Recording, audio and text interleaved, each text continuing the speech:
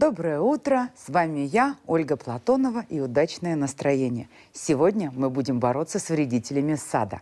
И для этого приготовим жгучее оружие. Многие садоводы предпочитают натуральные средства. Луковую шелуху, табак, махорку, чеснок. Иногда это может быть ботва от картофеля или же от томата. Я покажу, как сделать концентрат из перца, и у нас будет жгучее оружие против насекомых на ягодных кустарниках. Для этого нам нужно взять горький перец. Рецепт таков, что на 1 килограмм берется 10 литров воды. Так как у меня кустарников немного, мне достаточно будет полкило перца. Соответственно, я возьму 5 литров воды. Для приготовления концентрата нам нужно провернуть жгучий перец через мясорубку. Семена, как вы понимаете, мы не удаляем, потому что нам нужна самая горечь. Они как раз-то нам и нужны больше всего. Работать, конечно, лучше в перчатках, чтобы не обжечь руки. Итак, перец готов.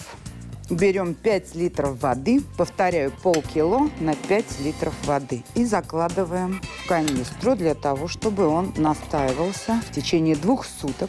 После чего я его выну и буду в течение часа проваривать на медленном огне для того, чтобы все жгучие свойства перешли в воду.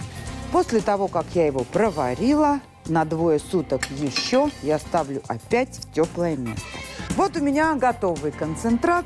На ведро воды я беру стакан, выливаю его в ведро и обязательно добавляю горсточку хозяйственного мыла.